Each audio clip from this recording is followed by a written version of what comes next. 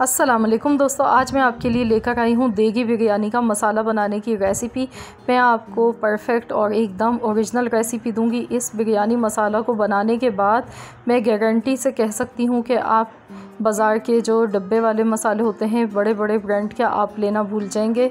आपको ये रेसिपी बहुत ज़्यादा पसंद आएगी और घर के मयारी मसालों के साथ बहुत ही ज़बरदस्त ये बिरयानी मसाला है।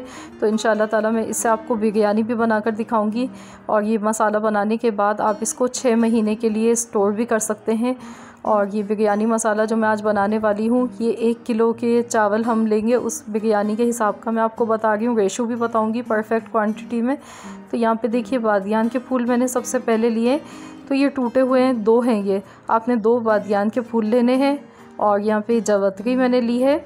जवतरी की चार स्टिक्स मैंने इस तरीके से ली है। जायफल है, ये हमारे पास आधा जायफल मैंने यहाँ पर लिया है और कसूरी मेथी इसमें जाएगी आधा चम्मच। ज़ीरा जाएगा एक चम्मच इसमें।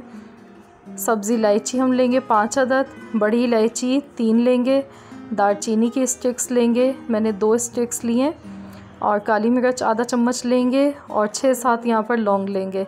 तो इन, और सौंफ मैंने यहाँ पर ली है, एक बड़ा चम्मच। तो इन तमाम चीज़ों को अच्छी तरह से मिक्स कर लेंगे। सौंफ इसमें लाजमी डालिएगा। अगर आप चाहते हैं आपका मसाला बाज़ार जैसा बने, अब हम इसको ग्राइंड कर लेंगे। यहाँ देखिए मैंने इन मसालों को ग्राइंड कर लिया है। अब मैं इसमें आठ से दस आलू बुखारे शामिल कर दूँगी। खुश्क आलू बुखारे।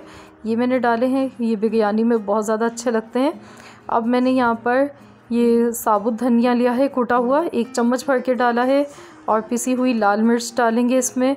मैं ढाई चम्मच डाल गई हूँ। आप जितना पसंद करते हैं तो आप उसी हिसाब से डाल लीजिएगा। कम या ज़्यादा कर सकते हैं।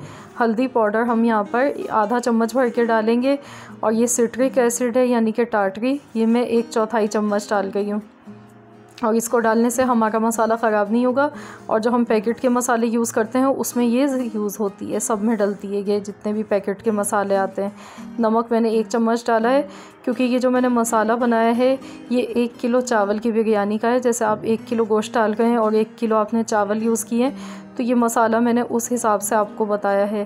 तो ये मसाला आपका बिल्कुल परफेक्ट रहेगा ये रेशो। तो इनको अच्छी तरह से यहाँ पे मिक्स कर लिया है। तो ये देखिए हमारा मसाला कैसे मिनटों में बन के तैयार हो गया है और जो इस टाइम इसकी खुशबू आ गई है, वो बहुत ज़्यादा अमेजिंग है। तो आपने ये तमाम मसाले मिला के पीसने हैं। आपने सौंफ को भी मिस नहीं करना है। साबुत धनिया और जायफल, जवतरी, बड़ी इलायची, छोटी इलायची, इन चीज़ों से बहुत कमाल की खुशबू आती है इस मसाले में और असल जायका इन्हीं चीज़ों से आता है। और बाकी मसाले भी जो मैंने आपको बताए हैं, वो लाजमी आपने सभी इस्तेमाल करने हैं इसके अंदर। तो इस तरीके से आपने बनाना है। तो इस मसाले को बनाने के बाद आप किसी भी एयर टाइट जार में बना के रख सकते हैं। तो रमज़ान में बहुत ज़्यादा बिरयानी बनाई जाती है। आप ज़्यादा क्वांटिटी में भी इस मसाले को बना सकते हैं। और मिर्चों का इस्तेमाल मैंने आपको इसलिए कहा है कि यहाँ ऑप्शनल है कि अगर आपकी फ़ैमिली में मिर्चें जितनी खाई जाती हैं स्पाइसेस पसंद किए जाते हैं, मिर्च आप उसी हिसाब से डाल लें। और मैंने जो इसमें डाली है ढाई चम्मच पिसी हुई लाल मिर्च। तो ये बिल्कुल मैंने एक परफेक्ट रेशो आपको बताया है। ना कम होगी और ना बहुत ज़्यादा आपकी फीकी बिरयानी बनेगी। मैंने बिल्कुल परफेक्ट और एक मुकम्मल रेसिपी आपको ये बताई है। तो ज़रूर इस रेसिपी को ट्राई करें और अपना फ़ीडबैक मुझे दें। इस मसाले को बनाने के बाद आपने इसको एयर टाइट जार बॉक्स में बंद करके अच्छी तरह से पैक करके रख देना है ताकि इसकी खुशबू ख़राब ना हो और इसमें सिट्रिक एसिड का यूज़ इसीलिए किया जाता है ताकि ये ज़्यादा अरसे तक हमारे मसाले चल सकें, ख़राब ना हो। तो इन ताला आप छः महीने के लिए बना के रखेंगे, आपका मसाला सही रहेगा। बस आपने करना क्या है, इसको एयर टाइट जार में अच्छी तरह से बंद करके रखना है और कोशिश करें कांच की बोतल का यूज़ करें। तो बस आपने इस तरीके से ये मसाला बनाएँ यूज़ करें। जब भी मेहमान आ जाएँ तो आप झटपट अपना ये मसाला निकालें और यूज़ कर लें। तो मैंने आपको ये एक किलो बिरयानी का मसाला बताया। आप अपने हिसाब से कम या ज़्यादा बना सकते हैं। अगर आप ज़्यादा बना रहे हैं तो आप इन्हीं चीज़ों की क्वांटिटी को डबल कर दें। मैंने आपको आज एक किलो बिरयानी का हिसाब का ये रेशो बताया है।